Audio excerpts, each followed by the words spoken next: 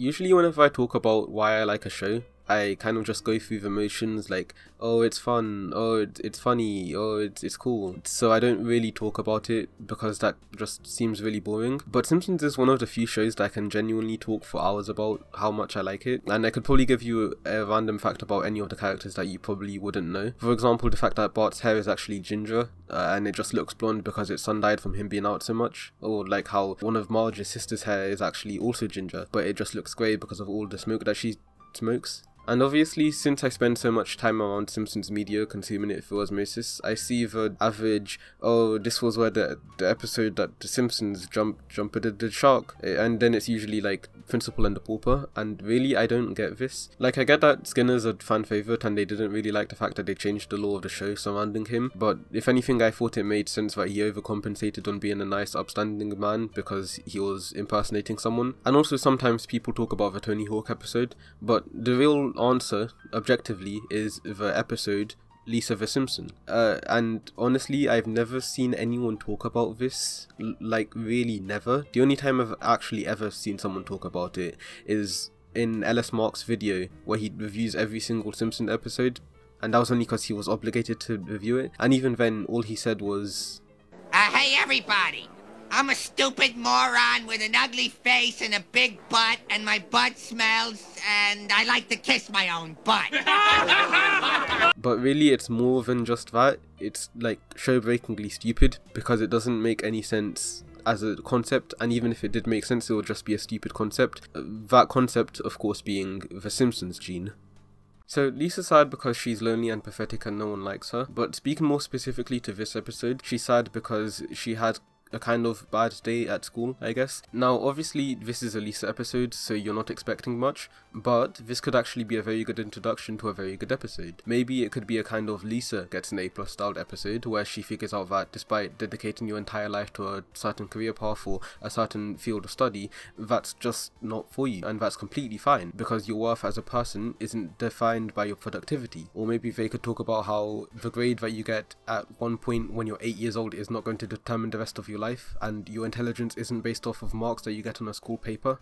All of these being, in my opinion, very interesting choices for an episode, but instead they choose to declare that actually every single member of the Simpsons family suddenly and miraculously peaks at an incredibly young age, with the rest of their life being an eternal spiral of misery and decay, just like The Simpsons. Now, I'm not usually one to complain about mean-spiritedness in shows because I think it's funny, but it's not funny because the character is being mean, because that's just called being a dick.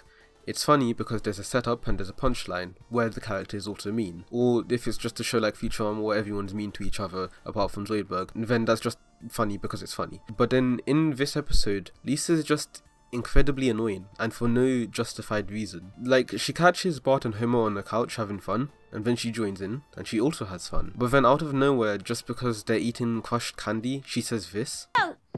No! No what? I don't want to turn out that way. What way, Angel Pie? Like you. Oh, boo-hoo! Let me play a sad song for you on the world's smallest violin. Shut up, bitch! And she doesn't even receive any repercussion from this. The family that she was just making fun of and calling idiots is worried sick for her even after she just made fun of them and called them idiots. In fact, Homer goes in the completely opposite direction. Despite being the very target of her vitriol, he then goes out to find a bunch of Simpsons family members to prove that not every member of the Simpsons family is an abject failure because of this supposed Simpsons gene even though he could have literally just pointed towards himself, being the second most senior employee at a company where he is a nuclear safety inspector under the richest person on the planet possibly, and he single-handedly manages to provide for a family of five, a cat and a dog in a giant house with two cars, and who, when it really matters, cares very deeply about his family and does everything he can to give them the best possible life he can give them given their situation. Oh, but no, because he doesn't understand the intricacies of every cinematic masterpiece, he's an idiot and he doesn't deserve any respect. Like, even the episode Lisa the Simpson managed to make Lisa realize that, hey, if someone's making food, even if you don't really like it, you probably shouldn't launch it down the street because you don't want to eat it, and also vegans are better than vegetarians. But at the conclusion of this episode, what she learns is that actually she's exempt from the Simpson gene because it's only on the Y chromosome, and as Lisa has XX chromosomes, being a girl, she does not have the Simpsons gene. So actually she's just destined for greatness or something like that. Now you're probably thinking, wait, but this means that Bart is going to be a failure. What, what's the deal with that? To which the show responds, yeah, he is. He doesn't care. End of end of discussion. That's it. That's it. That's all of it. But then the real kicker for the episode is actually Lisa was literally just having a bad day she that was that was it. Like she wasn't getting stupid though. She wasn't getting dumb or anything like that. She she just had a bad day, and then she figured out the problem that was making her feel stupid. So the episode literally had no reason to exist. They had no reason to mention the Simpsons gene, and they had no reason to mention that all of the male family members are going to be failures.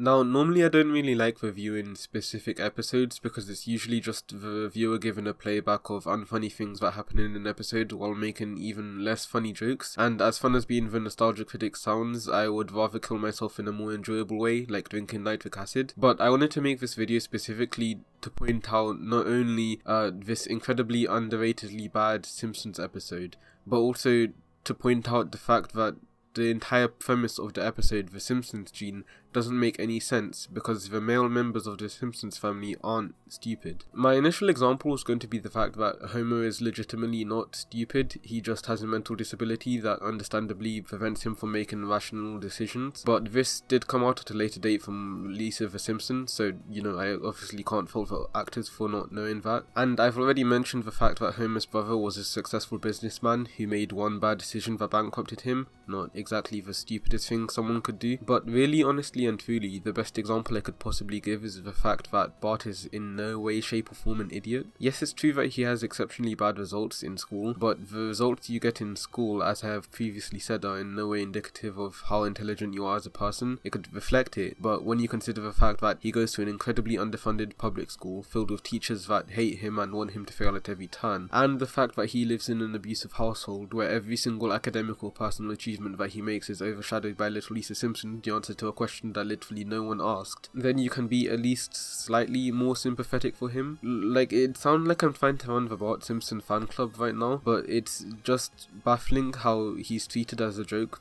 by all of the writers of The Simpsons for some reason. Even though his only canon future self is head of the Supreme Court, it I just don't get it. And like, yeah, I know it's lame, but like, it takes at least some level of intelligence, come on. And at that, this is still disregarding how incredibly talented he is in subjects like art or music. The school just doesn't care about this. And if you really want to underplay how bad the Springfield Elementary School is, consider the fact that for years they'd been hounding Bart to get good at French, and all it took was him going to France for at most a month month talking to about three French people and then being fluent in French.